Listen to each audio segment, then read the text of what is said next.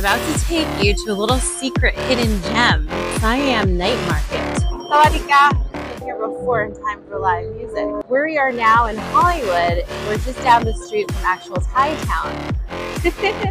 Traditional Thai papaya salad. Sawadika!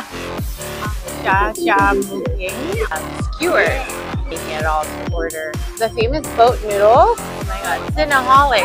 Oh my go. goodness. Thank you. Mm. That's so good. Oh, Yeah, vegan? You wouldn't even know. So these are the sweet potato balls, taro, shrimp tempura, uh, spring rolls, samosa chicken, soft shell crab, which is my favorite. Oh my gosh, look at that squid. Yummy crispy pork. Can I order the spicy Thai basil with rice and a fried egg, please? Okay, I'm going back to the uh, juice place.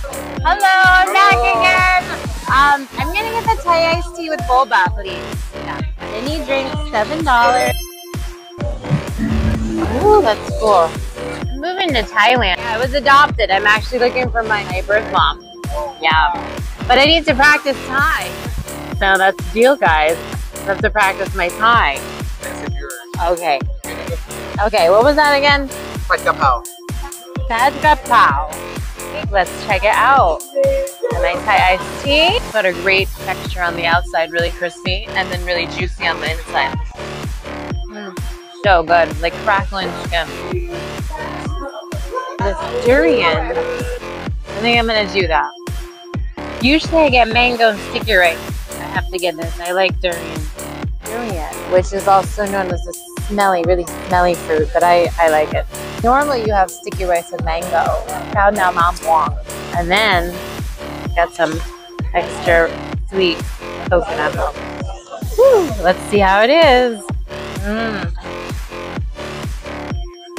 Mmm, so good.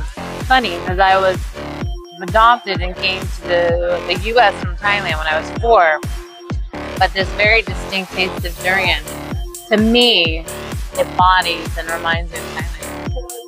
It's like really nice to do on the weekend. You can bring, I've seen families here. Oh, so cute! So cute.